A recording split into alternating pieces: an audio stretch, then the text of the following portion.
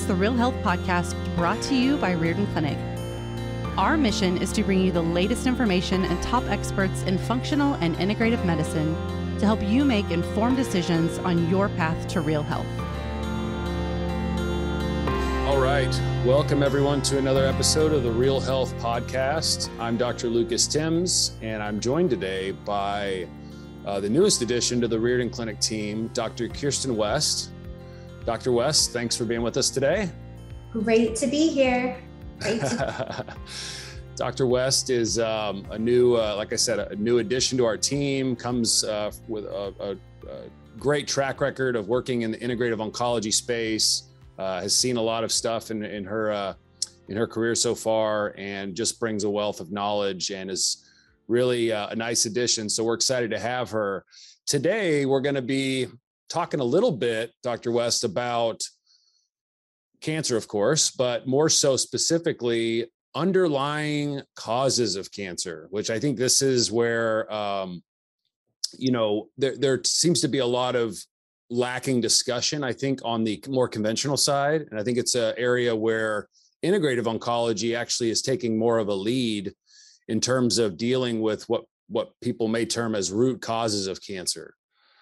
Um, so the way I explain it to my patients is that you know cancer is never just bad luck, right? Despite what they may be told by their traditional oncologist or or anybody else that they've talked to so far, and that there's always sort of factors and layers of things that build up sometimes over years that ultimately create this crescendo process which is which is a tumor or a cancer is that is that kind of how you see it yeah, yeah, I absolutely see it like that. And, you know, doing this for, gosh, both you and I have been doing this for over a decade now, which is crazy to think about. But I think that cancer really comes down to genes that are mismatched with our current lifestyle mm. and environment. So, right. you know, I think some of the biggest things that I see in practice, and I'd love to, I'd love to hear your thoughts on these too, but I think stress is a big one.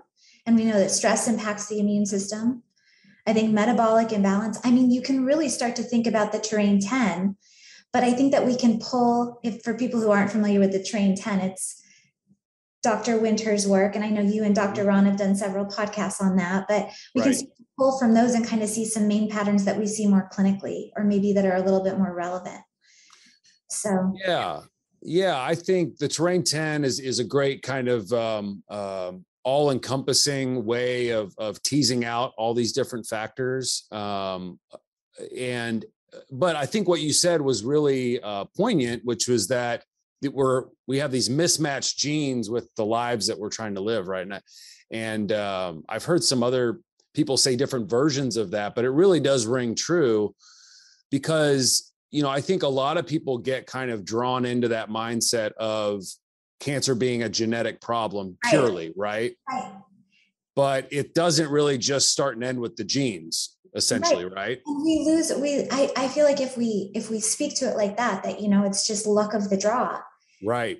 Use the empowerment to actually be responsible and take charge of our health and make changes. And I think that that's what you and I see in practice is that when people really do start to see what areas they need to be focused on that could have led to having cancer, that's when we see healing. Mm-hmm. Yep. Yeah. So if we take sort of that, I don't know, sometimes I almost see it in my head as like a pyramid where it's like that top portion of the pyramid is is the cancer and and maybe right underneath that is a layer of this genetic dysfunction right but then there's several right. more layers beneath that that that are holding those issues up right and so those are the layers we're talking about right right and it's just it's just like and I, this was so poignant And i heard someone say this but there's so many there's several people walking around with brca mutations that will never know that they have brca mutations because right. they never cancer and so it's just that's that's an example of a gene that hasn't been turned on based on specific modifiable modifiable lifestyle factors so right, right, and you're talking about the breast cancer, you know, right. gene, which most people know gene. as the BRCA mm-hmm. gene, or you know, B, BRCA one or two. Yeah. Uh, and what most people don't understand is that actually this gene, we want it turned on. It yeah. actually prevents that like cascade uh, of, of the cancer process. It's when it's mutated and turned off right. is when we have that increased risk. But um, and that's a that's a great segue into you know talk a little bit about how do these genes actually get turned on and off? Yeah. So I, you know, I kind of think of it as we have this, we have our blueprint of our genes, right, mm-hmm. that have been given to us by our parents.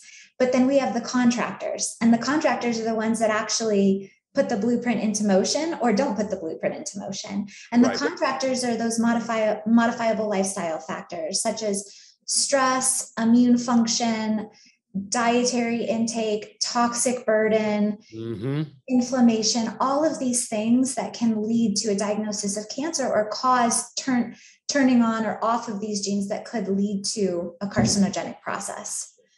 Right. And and this is not a black and white process either. It's a it's a always evolving dynamic process that's going on in our bodies every second of every day, right? Which is why our treatments are never just black and white, which is why we never just focus on one thing or another thing. It's really about finding those things that come together to create the greatest harmony in the body so that the body gets back in the driver's seat from a right. disease or a cancering process or things like that. So, exactly. Right. So it's helpful to know about the cancer and what type it is, and if yeah. there's driver mutations and what genes are involved, because then that can help you to maybe reverse engineer the underlying issues as well. So we're not right. discounting that all that information they use on the nutritional side isn't helpful. It's just that there's more that we can do to actually influence that top of the pyramid. Right, right. By, and, by modifying the environment, right? Exactly, exactly. Because there's some genes that are turned on within specific tumors that may relate to a little bit more blood sugar dysregulation. And so if we see that, then we know that, gosh, maybe for years there's been some metabolic imbalance going on and that's that's a big area that we need to focus on yeah oh and so, that study, sorry sorry dr yeah. Chen, also that study with ovarian cancer where they found out that several ovarian cancer um, cells had beta adrenergic receptors on them which are hmm. stimulated mm. by stress by stress so right. that also plays into it so yeah so but you've t- you've mentioned diet, you've mentioned stress, you've mentioned um, environmental toxins. That's another big one that I see in a lot of my patients. Do you do you typically test all of your patients for environmental toxins, or just if you get kind of some clues in their history? I do, I do. Obviously, history really helps. You know, to mm-hmm. ask them where they grew up, where they're living, etc., and figure out. But I do think that if we have the ability to run a toxic profile, toxic panel profile, or um, mm-hmm. test on all of our patients, I think that that is something that we should do. The more information, the better. Yeah. Yeah. And another area that gets impacted by all these um, environmental uh, issues and the epigenetics that we're talking about is not just the genes of our cells, but the mitochondria, right? Yeah. Yeah. These mitochondria, which some people are familiar with, some people aren't, but these are little, you know, uh, organelles inside of our cells that come from bacteria actually um, and that you actually get handed down to you by your mom and yeah. uh, these are actually the they've sometimes been described as like the energy packs of the cell or the batteries of the cell and um, a lot of the hallmarks of what drives a cancer cell is found in the in with problems in the mitochondria, correct? Right. A lot of people, we've actually come to an understanding that cancer may be more of a disease of mitochondria. And so that's an area that we really want to focus on. Right. And that also takes us into fasting because mm-hmm. we know that fasting is one of the best ways to also help rejuvenate mitochondrial health. So Right. Yeah. Right, fasting. And so yeah, now now shifting more towards um interventions or therapies that we might uh, employ to address some of these. Obviously, you can change your diet, and, and right. that, that, that's a big part of it in terms of correcting metabolic issues um, or avoiding certain toxins that may be coming in through your food or water. Mm-hmm. Um, as far as uh, ways that we can impact the mitochondria, you talked about fasting, but some of our IV therapies like IV vitamin C and ozone therapy are also mitochondrial therapies, right? Absolutely. Absolutely. Yeah. And then there's some great supplements that are good to support mitochondria as well. So that's an area we can really focus on. Yeah. And it's important to understand that, um, you know, everybody's pyramid or the, the, blue the blueprint is going to be different, right? Yeah. So it's not like, oh, I saw so and so changed to this type of diet and took these supplements and did this IV therapy, that's what I'm going to do. It's not really that simple, right? It's not. It's not. And that's the beauty of what we do, right? Because it's so individualized and it's so prioritized for each patient. Yeah. So while metabolic patterns may be a huge issue for one person, immune may be a bigger picture for someone, toxic burden may be a larger issue for someone else. So mm-hmm. figuring that out and building the pyramid appropriately, or at least elucidating the period appropriately, is the way to go. And that's why I think we're so um, big on on doing really comprehensive testing with each patient, right? Because we never quite know what each person's blueprint's going to look like. You can't really um, you know guess correctly all the time on what those issues are even with a proper you know history and and and and and figuring out as much as you can about the patient you still those labs can really help you to get that that blueprint right? Right and as you spoke about earlier also the genes the genes that we might find in specific cancers that they may get through medical onco- through their medical oncologist or additional right tests. So we can put all of that together. So it really is it's integrative care it's putting it all together. It's integrative care and it's it's not just um, something that patients can do while they're uh, going through the cancer treatment process but even beyond that right? Because right. this is again it's not like you get to this finish line where okay the cancer's gone and you don't have to do anything else. No, and that's actually the hardest time because you know, if patients are in standard care, standard of care treatments, and they get finished, that's kind of the time where it's like, well, what do I do now to right. make sure that this doesn't come back? And that's where what we do really helps. Because we, I mean, for me, I want my patients to feel so empowered. I know you do too. And mm-hmm. I want them to feel better than they ever felt prior to getting cancer. Because yeah. there's obviously some reasons or some imbalances that it started in the first place. Yeah, no doubt. Um, I think for some people, when they're first getting started, all of this can be a little overwhelming. Mm. You think so? I mean, I, how, how, do you sort of um, gently ease people into understanding that there's so much that can be done, but that we have to kind of maybe take things one one step at a time? Yeah, I think a lot of it comes with getting to know your patient, really meeting them where they are, mm-hmm. or your co-learner, your patient, your co-learner, because we're in this together. Right. So figuring out, you know, are do can they take a lot of supplements? I mean, supplements aren't always the answer, but getting them on some good base supplements is a great way to start. I think getting labs is a great way to start because if we can get labs, then we can really start to elucidate some patterns that may be at play and we can learn together about the next best steps mm-hmm. and kind of prioritize a plan because yeah. you can't do everything at once and it is a lot of information and you know it is like drinking water from a fire hose if, yeah. if do it all at once. So it's good to take it step by step. It, it certainly can be, and sometimes uh, the hardest patients are the ones that come to us and they they've already done a lot yeah. of stuff, and it's hasn't quite maybe been the right stuff for them.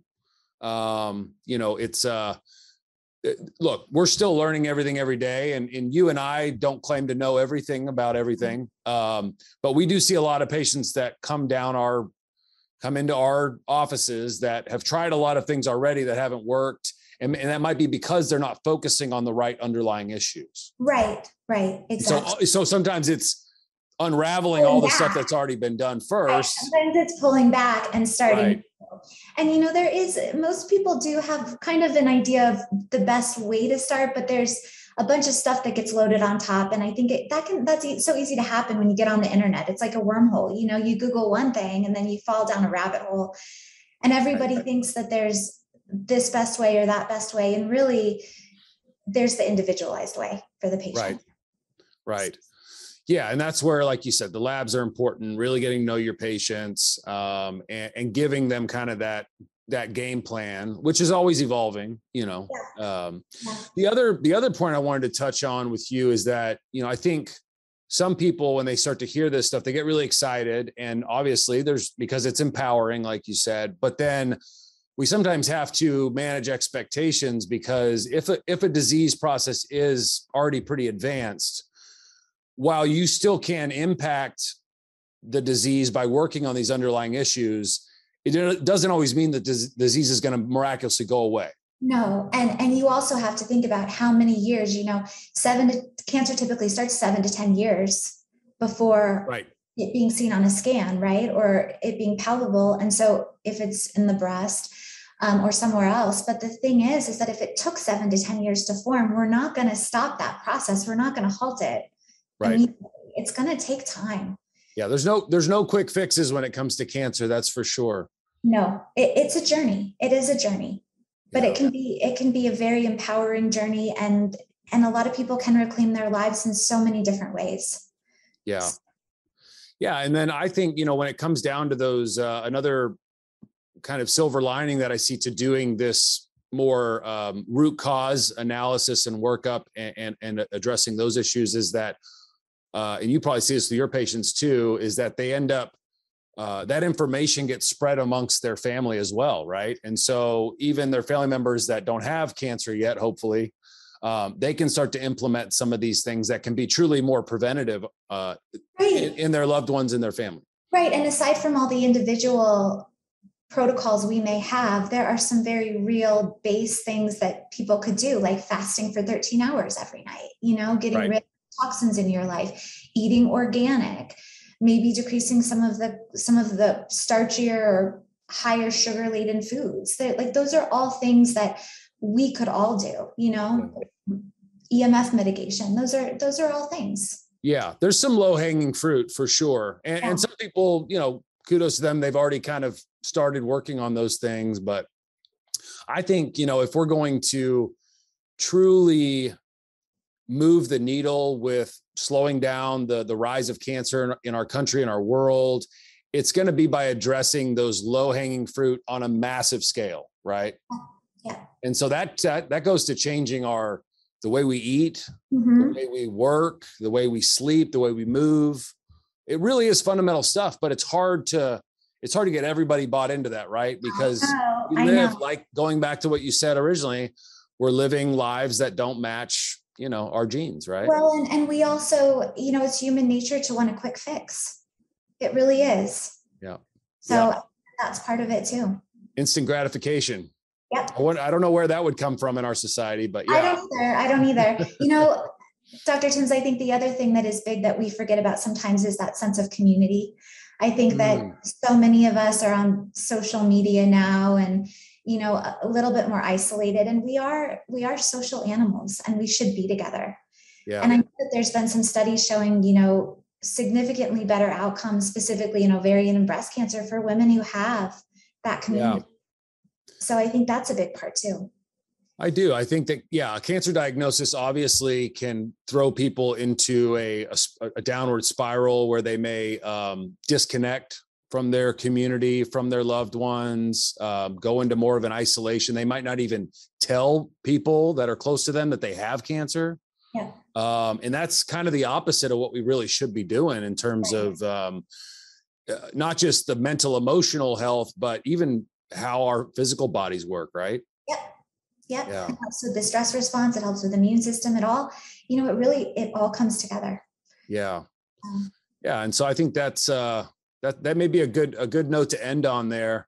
Uh, I think we've covered uh, a lot of sort of the, those underlying issues that we see talked a little bit about how we would approach those things, which would start with a very thorough analysis between labs and, and that, and you know that's what you and I are doing day in and day out here at the Riordan Clinic now. And so, um, but hopefully this was a great primer for people uh, and, and gives them sort of that understanding of how to look at how the underlying issues tie in with with what we're focusing on on the conventional side in terms of just the cancer itself right. and let them know that there's so much else that they can do but they need a guide right yeah and and we are guides but we're also we're also teachers and we're also learning with them.